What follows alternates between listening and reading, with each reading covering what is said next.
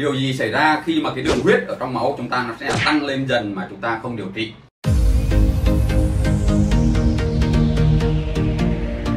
Thế thì đây chúng ta sẽ hình dung nha. Đầu tiên là khi mà chúng ta ăn quá nhiều đường hay là những thực phẩm nó làm cho tăng cái đường huyết đúng nhỉ? Thì cái đầu tiên là trong cơ thể chúng ta nó có một cơ chế điều chỉnh đó là insulin nó sẽ được tiết ra ngay lập tức.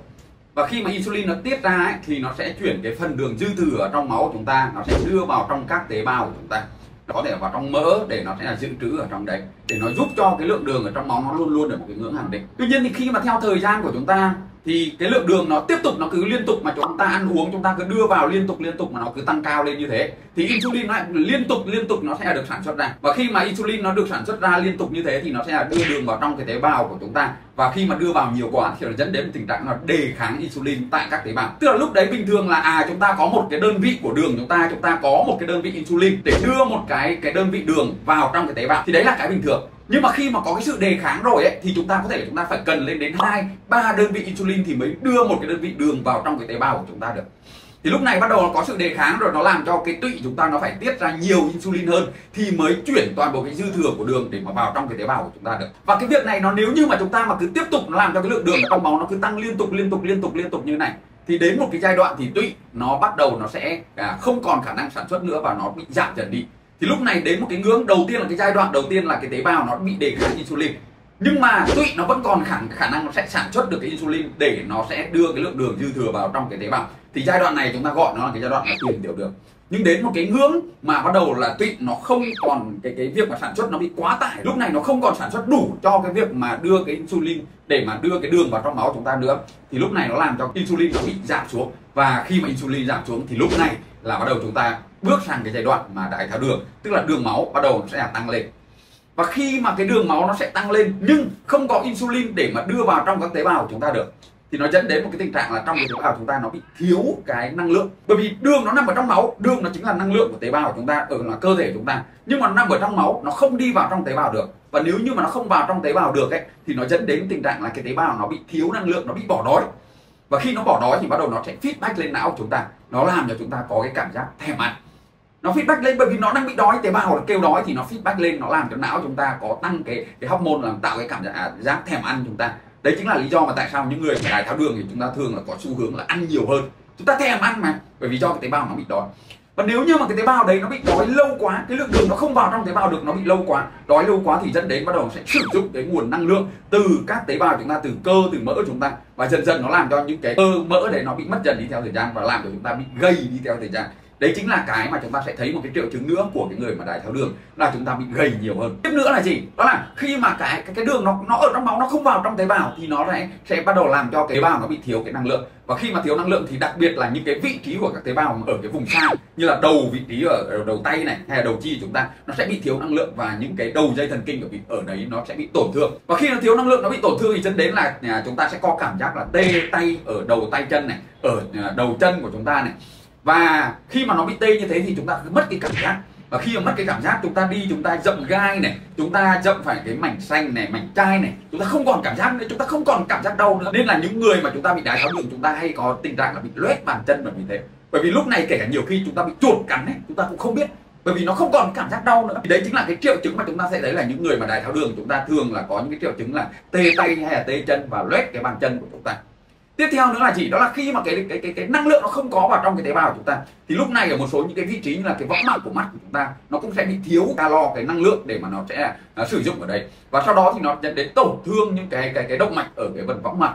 Và có thể là dẫn đến tình trạng là xuất huyết, nó làm cho chúng ta bắt đầu chúng ta nhìn mờ hơn, rồi có thể những trường hợp nó nặng hơn, dẫn đến tình trạng là mù. Nên là những người mà đái tháo đường chúng ta hay có những cái tai biến về mờ mắt về thế. Và khi mà chúng ta có đái tháo đường, chúng ta cần phải đi kiểm tra, đi khám mắt à, thường xuyên để xem là chúng ta có bị tổn thương ở cái võng mạc hay không. Và chúng ta cũng phải thường xuyên là chúng ta kiểm tra cái bàn chân của chúng ta. Những người mà đái tháo đường thì trước khi đi ngủ mọi người nên dùng cái đèn hoặc là cái điện thoại chúng ta soi vào trong bàn chân chúng ta chúng ta rửa chúng ta soi ở cái bàn chân xem là nó có bị tổn thương hay không. Bởi vì nhiều khi mà nó bị chảy máu nó bị tổn thương mà chúng ta không biết đâu. Và những người mà đái tháo đường ấy thì chúng ta hạn chế là ngâm chân vào nước nóng. Bởi vì nhiều khi nóng quá chúng ta cũng không cảm nhận được và dẫn đến tình trạng bỏng nên là chúng ta hạn chế cái việc mà ngâm chân vào nước nóng bởi vì thế. Thế thì đấy là khi mà cái lượng đường trong máu nó tăng cao nhưng nó không vào trong tế bào thì dẫn đến một loạt những cái triệu chứng như thế đúng nhỉ? Và khi mà cái đường mà nó không vào trong tế bào được thì nó lại nằm ở trong máu của chúng ta. Và khi nó nằm ở trong máu ấy, thì nó dẫn đến tình trạng là gì? Nó làm cho cái độ nhớt ở trong cái cái cái cái thành mạch nó bị tăng lên. Tức mọi người hình dung thì chúng ta nhiều đường quá thì nó làm cho cái máu chúng ta nó đặc hơn. Và khi mà cái độ nhớt nó tăng lên như thế thì nó dẫn đến cái tình trạng là áp lực của máu lên cái thành mạch nó sẽ là tăng lên và đấy chính là cái mà chúng ta sẽ thấy là những người mà đái tháo đường sau một thời gian có thể dẫn đến tình trạng là tăng huyết áp. Bởi vì cái áp lực của cái cái cái máu lên thành mạch nó sẽ bị tăng lên.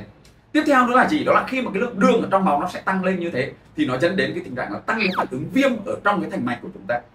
Thế thì bình thường thì không sao, nhưng mà khi mà có cái sự mà cái phản ứng viêm đấy rồi, mà lại có cả mỡ máu cao nữa, thì nó rất là dễ bám vào trong cái thành mạch đấy. Và nó làm cho chúng ta tăng cái nguy cơ bị sơ vữa đấy chính là lý do mà những người mà chúng ta mỡ máu cao không đấy thì chúng ta cần kiểm soát. Ví dụ như một người mà trên 40 tuổi mà mỡ máu cao không thì chúng ta cần kiểm soát cái chỉ số là mỡ máu à, LDL nó dưới 2.6 nhưng nếu như mà trên 40 tuổi mà có mỡ máu cao mà có cả tiểu đường nữa thì chúng ta phải kiểm soát của nó là dưới 1.8 tức là chúng ta phải kiểm soát cái lượng lượng mỡ máu nó phải phải phải thấp hơn so với cái người mình mà không có cái tiểu đường. Bởi vì khi mà có tiểu đường thì nó làm tăng cái phản ứng viêm trong thành mạch, thì khả năng nó bám vào trong thành mạch nó có sẽ sẽ cao hơn nữa. Thế thì đấy chính là cái mà chúng ta sẽ thấy là khi mà chúng ta có tiểu đường thì nó lại tăng cái nguy cơ bị sơ vữa thành mạch lên. Và chúng ta cần phải điều trị, đặc biệt là những người mà có mỡ máu mà có tiểu đường, chúng ta cần phải điều trị sớm hơn. Tiếp theo nữa là gì? Đó là khi mà cái lượng đường trong máu nó sẽ tăng cao lên như thế, đầu tiên nó làm cho cái áp lực lên cái thành mạch nó dẫn đến tăng huyết áp này, tăng cái tình trạng viêm ở trên cái thành mạch này. Và khi mà lượng đường trong máu nó tăng cao lên như thế thì bắt buộc nó cần phải đào thải, nó đưa ra ngoài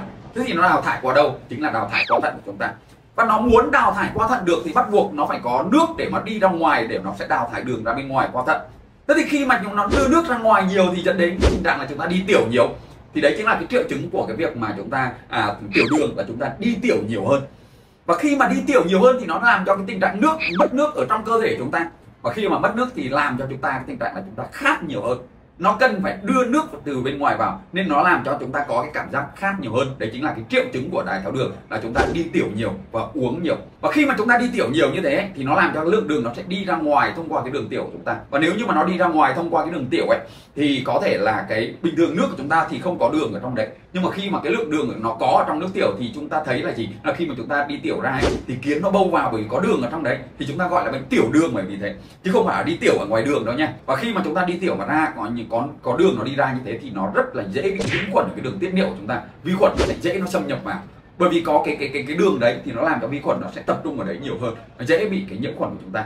Và đấy chính là cái mà chúng ta thấy là à khi mà lượng đường nó sẽ tăng lên, nó ảnh hưởng đến một loạt những cái vấn đề phía sau đấy và sau cái video này chúng ta biết được là tại sao khi mà chúng ta có tiểu đường, chúng ta có những triệu chứng như là ăn nhiều này, gầy nhiều này, tiểu nhiều này, uống nước nhiều này, đúng nhỉ? Thì đấy chính là cái cơ chế của việc mà đường huyết nó sẽ tăng cao lên.